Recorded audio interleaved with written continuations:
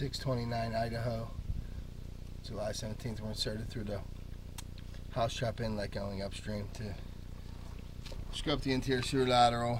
Uh, a bunch of debris built up in this area we can't get by.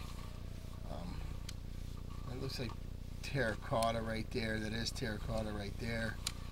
And then they made a PVC repair in this reads and then it goes back to terracotta and PVC.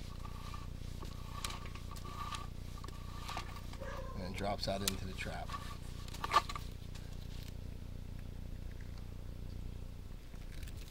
That concludes the video.